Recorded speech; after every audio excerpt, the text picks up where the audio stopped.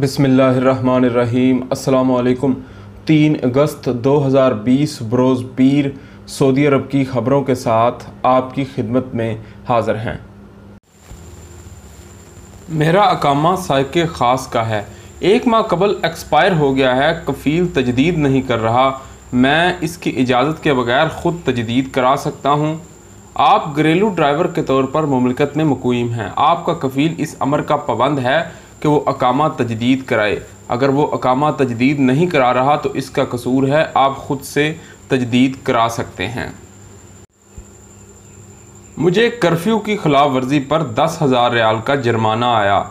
इस हवाले से अबशर पर अपील भी दायर की और एक माह हो गया, वहाँ से कोई जवाब नहीं आया।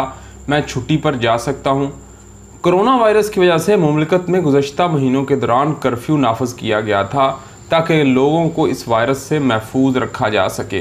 कर्फ्यू की खिलाफ वर्जी पर हुकूमत की जानब से दस हज़ार रियाल जुर्माने का भी ऐलान किया गया था। आप पर कर्फ्यू की खिलाफ वर्जी दर्ज है, इसलिए जवाजात में अफशर सिस्टम का वो दर्ज होगा। कानून की रूह से जब तक जुर्माना नहीं होगा, छुट्टी पर नहीं जा सकते। छुट्टी जाने के लिए लाजमी है कि किसी किस्म का जुर्माना बाकी ना हो। तो इसे माफ़ कराया गया हो या अदा किया जाए। इसके बाद ही खरूज उदा यानी नहाई लगाया जा सकता है। एक ख़तून की जानब से दरियाफ्त किया गया कि मैं अकामे पर ममलिकत में मुकीम हूँ, जबकि मेरे शोहर विज़िट वीज़े पर यहाँ आए थे, मगर कोरोना वायरस की वजह से सफरी पाबंदियों के बाद वो वापस नहीं जा सके। अब जबकि वीज़े की मुद्दत में इजाफा कर दिया गया है अब भी वापस जाना चाहती हूँ। मसला यह है कि हमारे यहाँ बच्चे की वलादत हुई है, नौमलूद को किस तरह ले जाया जाए, वो मेरे अकामे में दर्ज होगा। हमें वतन जाने के लिए क्या करना होगा? इस हवाले से महकमा पासपोर्ट से दरियाफ़त किया गया तो उनका कहना था कि ख़ातून अकामा होल्डर्स हैं और कानून के मुताबिक पैदा होने वाले बच्चों के लिए अकामा की शर्त वालदेन का अकामा होल्डर होना ज़रूरी है। बच्चों की कफालत शोहर के ज़िम्मे होती है, क्योंकि आपके शोहर अकामा पर नहीं, इसलिए बच्चे का अकामा नहीं बन सकता। इस सूरत में अगर आपने नौमलूद का डिजिटल पदाशी सर्टिफिकेट अदारा अहवाल मदीना से जारी कराया है तो यकीनी तौर पर बच्चे का अंदराज शोर के इमिग्रेशन नंबर पर किया जाएगा। अगर सर्टिफिकेट डिजिटल नहीं, बल्कि हाथ से लिखा हुआ है तो आर्जी बर्थ सर्टिफिकेट है तो इस सूरत में महकमा अहवाल अलमदीना में अंदराज कराने की ज़रूरत नहीं, बल्कि अपने मुल्क के सफारत खाने से बच्चे का पासपोर्ट या सफरी दस्तावेज़ात जारी कर लें, जिस पर बच्चे को ले जा सकती हैं। वाज रहे कि सऊदी अरब में हुकूमत की जानब से विज़िट वीज़ों पर आने के लिए तीन माह की इजाफी मुद्दत का ऐलान किया गया है, जिसके लिए किसी किस्म की फ़ीस नहीं होगी। तमाम विज़िट वीज़ा होल्डर्स के क्याम की मुद्दत में तोसी खुदकार तरीके से की जाएगी। कोस्ट गार्ड की बर वक़्त मदद। इंडियन बच्चा और यमनी डूबने से बच गए। अलजुबेल साहल पर कोस्ट गार्ड की बर वक़्त कार्रवाई की मदद से आठ साल इंडियन बच्चा और यमनी शहरी डूबने से बच गए। इंडियन बच, इंडियन बच्चा दारिन साहल पर जबकि यमनी को अलजुबेल के अनखेल साहल से बचाया गया। सऊदी खबर एजेंसी एस पी ए ने कोस्ट गार्ड के तर्जमान कर्नल मुसफ़र अल कुरैनी के हवाले से बताया कि कोस्ट गार्ड के मरकज़ी कंट्रोल रूम में इतला मसूल हुई थी कि साहिल पर तफरी के लिए आने वाले ख़ानदान का एक बच्चा तेज़ लहरों की नज़र हो गया। इतला मिलते ही कोस्ट गार्ड की पेट्रोलिंग पार्टी को फौरी तौर पर मौका पर पहुँचने की हदायत की गई। जाय वकुआ से करीब तरीन पार्टी इतला मिलते ही वहाँ पहुँच गई, जहाँ उन्होंने इंतहाई महारत से कार्रवाई करते हुए बच्चे को लहरों से बाहिफाजत निकाल लिया। बच्चे को इब्तदाई तिब्बी इमदाद देने के बाद हस्पताल मुंतकिल कर दिया गया, जहाँ इसकी सेहत में बेहतरी बताई जाती है। कोस्ट गार्ड की फौरी मुदाखलत पर बच्चे के वालदेन ने इनका खसूसी तौर पर शुक्रिया अदा किया।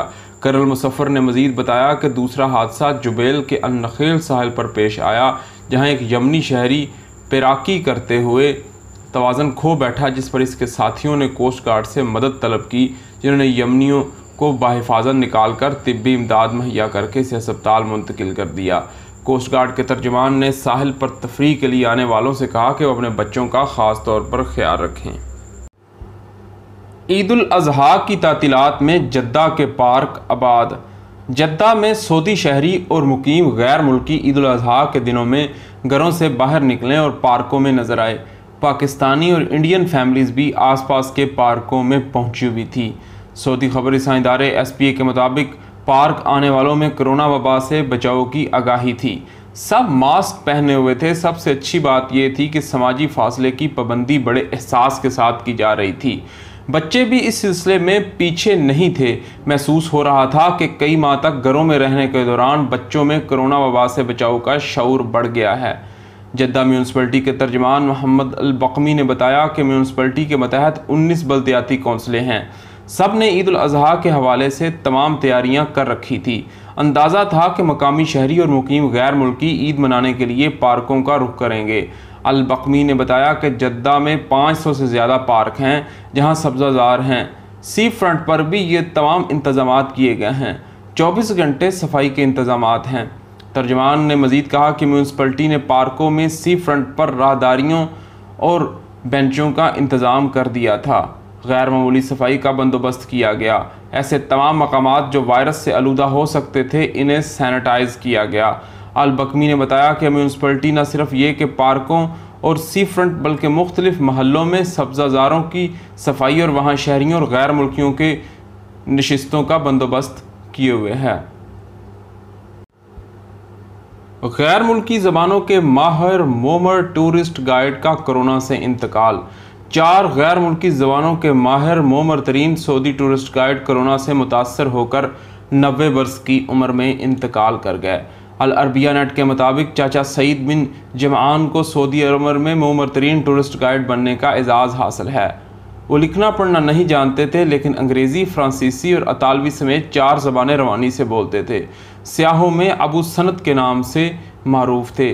चाचा सईद बिन जमान ने नजरान के इलाके टूरिस्ट गाइड के तौर पर काम किया। यहाँ आने वाले मकामी और गैर मुल्की सियाहों को यहाँ की तारीख और विरसे से आगाह किया। हाल ही में जब वो फेफड़े की सोजिश में मुबतला हुए तो इनसे अरबिया नेट की टीम ने घर जाकर इंटरव्यू किया। इंटरव्यू में उन्होंने इस मौका पर सियाहों के साथ अपनी भोली बसरी यादों का तस्करा मज़े लेकर किया। इनकी आरज़ू थी कि सेहत याब होकर एक बार फिर गाइड के तौर पर काम करें और तारीखी मकाम की लोगों को सैर कराएँ।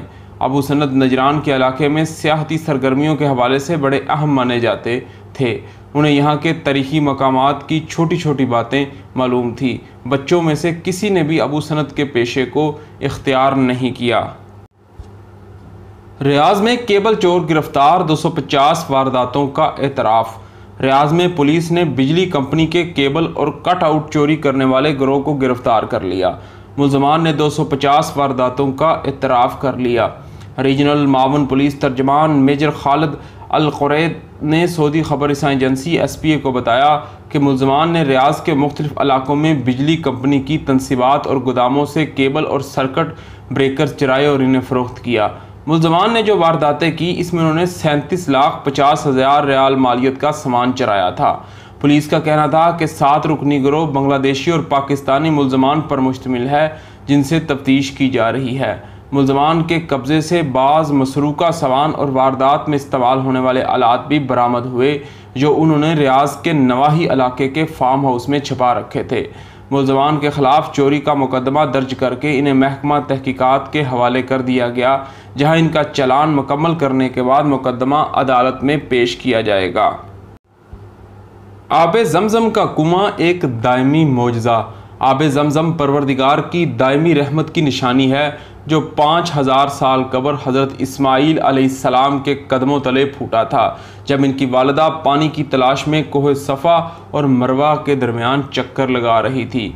अरब न्यूज़ के मुताबिक जमज़म के कुएँ का नाम दर हकीकत जम जम से पड़ा है, जिसके मानी है ठहरना के हैं। ये अल्फाज हज़रत इस्माईसलाम की वालदा ने इस वक्त दोहराए जब अचानक ज़मीन से चश्मा फूटने के बाद वो बहते पानी को रोकने की कोशिश कर रही थी। आब जमज़म का कुआँ हमेशा साफ़ रहता है। ना इसको कभी फफूंदी लगती है, ना ही कीड़े या किसी किस्म की आलूदगी पैदा होती है। आम पानी के मुकाबले में आब जमज़म में कुदरती मदनियात ज़्यादा हैं। इसका जायका मुनफरद होने की वजह से यही है। हदीस के मुताबिक आब जमज़म में बीमारियों के लिए कुदरती शिफा है। यही वजह है कि ज़ायरीन इसकी बोतलें भरकर मुल्क वापस ले जाते हैं। कदीम ज़माने में आब जमज़म मक्का आने वालों के लिए पानी हासिल करने का मरकज़ी ज़रिया होता था। पाँच हज़ार साल से इस कुएँ ने कभी भी पानी देना बंद नहीं किया, सवाए कुछ अरसे के जब बंदश का सामना करना पड़ता है। इस कुएँ की हिफाजत की ज़िम्मेदारी पैगंबर इस्लाम के दादा और कई खुलफा के बाद सऊदी अरब के बानी शाह अब्दुल अज़ीज़ ने संभाली। इसके साथ हमें इजाज़त दीजिए। आपके कीमती वक़्त का शुक्रिया। अल्लाह हाफिज़।